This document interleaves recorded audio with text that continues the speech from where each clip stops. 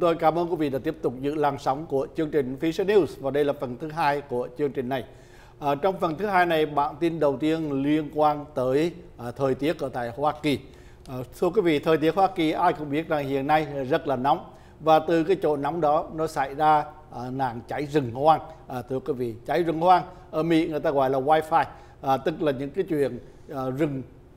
ở những nơi hoang dã nó quá nóng và nó khô đi nó khô đi rồi ờ, nhiều khi mưa mưa dông xét đánh là gây ra những cái nạn cháy rừng. Và nhiều khi người ta bất cẩn cũng có thể gây ra cháy rừng. Mùa hè những người đi cắm trại cũng có thể uh, nhóm lửa trại rồi bất cẩn quên tắt lửa rồi để cho gió nó lan ra. Những bụi rậm những cái lá khô là những cái yếu tố làm cho nạn cháy rừng uh, càng ngày càng trầm trọng và mỗi năm như vậy cái mùa này phải nói rằng là đây là cái mùa à, cháy rừng rất lớn. Và đa số những nơi bị cháy rừng thì xảy ra phần lớn là miền Bắc hay là miền Nam của California. Và hiện đây cái hình ảnh ở đây quý vị đang thấy là cháy rừng tại Colorado. Thưa quý vị tại Colorado vùng này rất là cao và nhiều rừng núi và cũng xảy ra cháy rừng trong cái tuần lễ vừa qua. Cái vụ cháy rừng lớn nhất người ta gọi là vụ cháy rừng tại hồ Christine người ta gọi là Lake Christine phải. Thông thường thì mỗi vụ cháy rừng được đặt một cái tên để cho dễ nhớ. Và cái tên đó thường thường căn cứ vào cái địa điểm nơi mà vụ cháy rừng à, xảy ra. À, cái Christine, Lake Christine này nằm ở trên miền tây bắc của Aspen của ngọn núi Aspen. Và người ta đang cố gắng thưa quý vị à, dập tắt cái cháy rừng này. Tuy nhiên nó cháy rất nhanh đến nỗi rằng chính phủ đã ra lệnh cho những cái người dân trong khu vực nói rằng họ nên di tản khi họ thấy cần chứ đừng có bao giờ chờ để chờ đến khi chính phủ nói rằng là à, cần phải di tản. Thì lúc bây giờ mới di tản thì rất là trễ. Cho nên họ phải tùy theo mọi cái trường hợp mà liên quan đến gia đình họ và phải quyết định ngay lập tức. Chứ đừng có để à, đến khi mà chờ đến chính phủ ra lệnh di tản thì đã quá trễ. Và đến nửa đêm ngày hôm qua các vụ cháy rừng này chỉ mới dập tắt được có 5% mà thôi. Tức là một con số phải nói là khá nhỏ à, so với cái vụ cháy rừng hiện nay. Đây là những cái người dân được tụ họp lại à, để mà cho chính phủ nghe à, thuyết trình về vấn đề cháy rừng.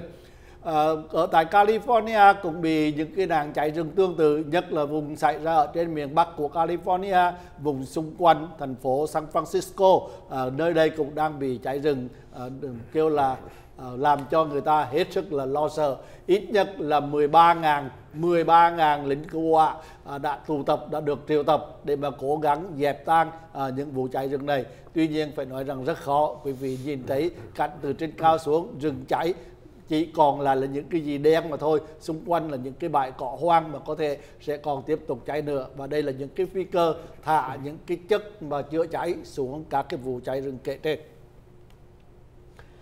À, thưa quý vị, ờ, bản tin kế tiếp cho biết là đã có những cuộc biểu tình xảy ra ở tại cái thành phố có tên là Pamplona à, của Tây Ban Nha. À, cái cuộc à, biểu tình này được à, tụ họp bởi những cái à, nhân vật mà à, đấu tranh cho dân chủ để xin lỗi quý vị à, các nhà bảo vệ động vật hoang dã động vật đó họ đưa ra những cái à, lời kêu gọi là phải chấm dứt ngay cái lễ hội liên quan đến đấu bò ở tại bên Tây Ban Nha. Đây được xem là một cái lễ hội rất là truyền thống của người dân Tây Ban Nha từ trước tới bây giờ. À, vào ngày 6 à, tháng à, ngày 6 cho đến ngày 14 tháng 7 tới đây trong một tuần lễ đó thì ở thưa quý vị ở tại thành phố à, ở tại à, thành phố này thì đã sẽ diễn ra những cái buổi đấu bò rất là truyền thống. À, họ gọi là cái Sen Femin Festival và tại ngay cái tòa thị chính của thành phố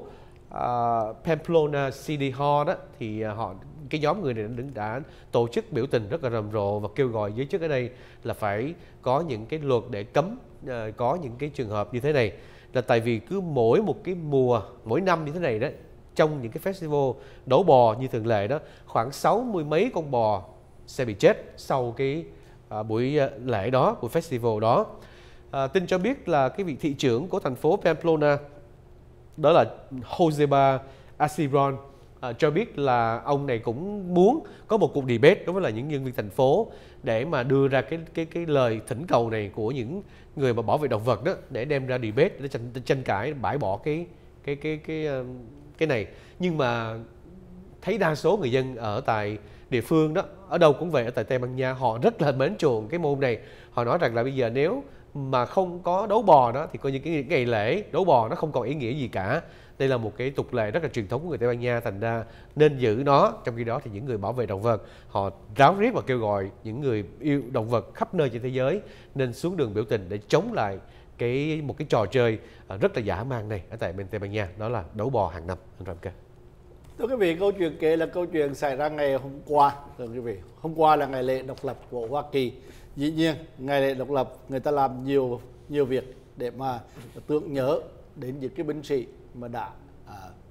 hy sinh để bảo vệ tổ quốc Hoa Kỳ cũng như để nhớ lại sự góp sức của tất cả những cái binh sĩ mà đã từng tham dự những cuộc chiến và hồi hương. À, đây là một buổi hồi hương à, như lễ đón những binh sĩ hồi hương. Binh sĩ này thuộc sư đoàn 3 bộ binh của Hoa Kỳ đã qua 9 tháng ở ngay tại Afghanistan và bây giờ hành được trở về Ờ, để mà ăn lễ for, July ờ, với gia đình ở ngay tiểu bang Georgia tại một cái căn cứ có tên là căn cứ Stewart. À, đây là một cái lễ hết sức là cảm động các binh sĩ đi về à, được đón tiếp bởi dân chúng và nhất là gia đình à, tụ họp lại sau một cái bài cuộc diễn hành ngắn à, những người thân nhân à, gặp những cái à, người nhà của mình mà đã từ hơn 9 tháng qua họ không có dịp gặp gỡ và nói chuyện. À, có thể đôi khi họ nói chuyện qua điện thoại nhưng mà đây là cái cuộc gặp mặt nhìn thấy nhau cầm tay nhau và ôm nhau để mà nhớ lấy những cái ngày tháng khi xa cách.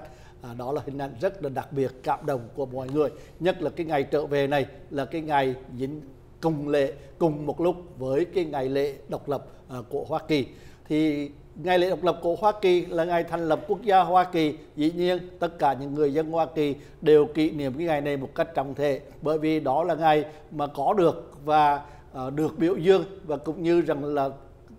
sống được và nhờ những cái hành động bảo vệ quê hương của các cái binh sĩ Hoa Kỳ. À, do đó thì cái ngày trở về của binh sĩ thuộc sư đoàn 3 bộ binh Hoa Kỳ trở về nhà là một cái ngày mà dân chúng tại địa phương coi rằng đây là một cái ngày rất là quan trọng cho nên cuộc đón tiếp diễn ra rất là trọng thể và phi cơ xuống các binh sĩ tập trung ở bên ngoài rồi ờ, làm một cuộc diễn hành nhỏ sau khi hát quốc ca và gặp lại những người thân nhân mà đã có một thời gian xa cách thưa quý vị.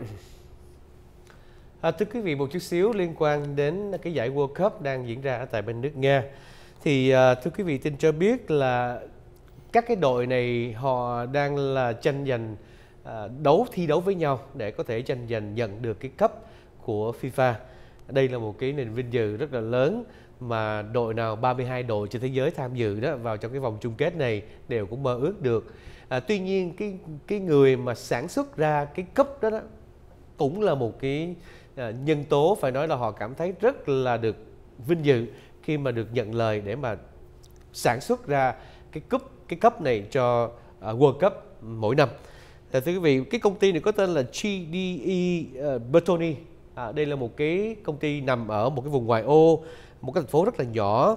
của nước Ý, à, chỉ cách có thành phố Milan khoảng 30 phút à, ra ngoài à, ngoại ô mà thôi. Và đối với lại công ty này thì họ đã sản xuất cho à,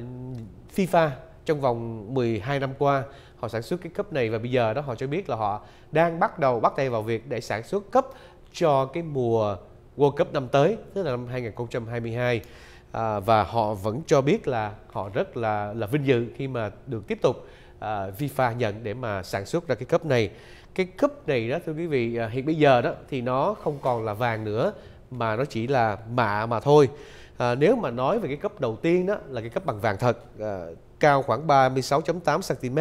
và nặng khoảng chừng ờ, 6.2 kg. À, tuy nhiên thì à, sau này thì không còn đó nữa. À, đầu tiên từ năm 1930 khi mà World Cup bắt đầu đó thì à, cái à, cái cấp này nó được à, sản xuất ra và được đặt tên à, là uh, Jules Rimet. Đây là cái cái tên đặt cho cái cấp này để tưởng nhớ đến một cái vị à, chủ tịch của FIFA trước đây. Sau đó thì tới năm 74 thì cái cấp này đã được đổi thành một cái cấp gọi là cấp FIFA cấp à, chứ không còn cấp nữa và nó được luân phiên à, trao tay nhau. Hiện bây giờ thì à, nước Đức à, đang giữ cái cấp này. Và nói tóm lại là hiện bây giờ họ đã đang chuẩn bị bắt tay vào việc để hoàn tất tất cả những công việc và giao. Thường thường họ phải giao trước cho cái nước mà à, đang chuẩn bị để mà tổ chức World Cup của lần tới tức là 4 năm tới đó thì họ phải trao trước 4 năm để họ để cái ban tổ chức có trong tay để trước khi tổ chức thì mới được thành ra là hiện bây giờ đó cái công ty này đang ráo riết để thực hiện cái à, cái cái cấp này để dành cho cái quốc gia kế tiếp sẽ tổ chức World Cup vào năm 2022 đó anh Phạm Ca. Vâng. Thưa quý vị, bản tin vừa rồi đã chấm dứt chương trình Future News ngày hôm nay. Chúng tôi cảm ơn quý vị đã theo dõi chương trình này và xin hẹn gặp lại quý vị trong những chương trình kế tiếp cũng trên làn sóng này. Cảm ơn quý vị và xin kính chào tạm biệt.